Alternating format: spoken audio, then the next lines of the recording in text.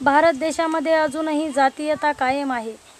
ह्या जातीयतेचंच उदाहरण लोणी खुर्द गावामध्ये जवळजवळ तीनशे ते साडेतीनशे लोकसंख्या राहते. ह्यामध्ये तीस ते चाळीस घरं दलित मागासवर्गीय मातंग समाजाची आहेत. त्यांचा उदरनिर्वाह रोजमजुरीवर चालते. पिण्याच्या पाण्यासाठी त्यांना जलस्वराज्य योजनेतून नळ आले.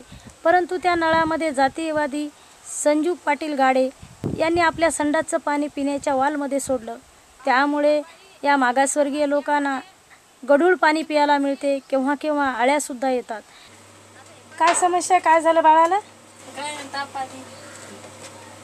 कशामुळे बिमार पडला तो?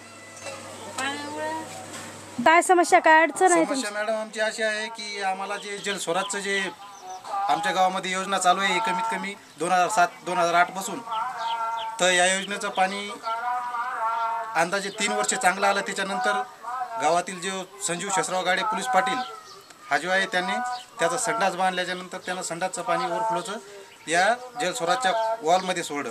त्या वॉलमध्ये सोडल्यामुळं ते आमच्या दलित वस्तीत त्या वॉलमध्ये शिरून दलित वस्तीत ते घाण निर्माण केली त्यानं आणि ते नळामार्फत आम्हाला पिण्यासाठी येतं.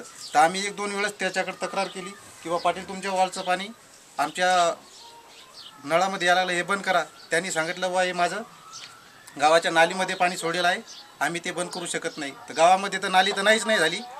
पण त्याच्यानंतर मग त्यानं म्हणे तुम्हाला काय करायचं ते करून घ्या. त्यानंतर आम्ही बी डी ओ ग्रामसेवक आणि शिवसाहेब यांच्याकडे तक्रार केल्या. त्यांनी आतापर्यंत त्याचं काही दखल घेतलेली नाही. उन्हाळाभर तर काही होत नाही पण ज्यावेळेस जून महिना लागतो त्यावेळेस गॅस्ट्रो मलेरिया डेंग्यू अशी बिमारी उत्पन्न होती तर त्यावेळेस आम्हाला आम्ही शेतकरी माणसं आम्हाला काम करावं का? लेकरं दवाखान्यात न्यावं? लय बेकार आहे ना वास.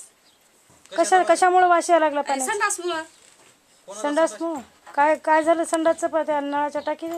आता त्याचं त्याला माहीत काय झालंय तर सर्व लोकांना पिण्याचं पाणी याच जल स्वराजचं आहे कारण गावामध्ये दुसरं पाणी नाही कुठंच. आणि आमच्या आम्ही दलित असल्यामुळं आम्हाला सुवर्णाच्या एरीवर तर पाणी भरण्याची मुभा नाही. त्याच्यामुळं इथं जातीयतेचा वाद निर्माण झालेला आहे.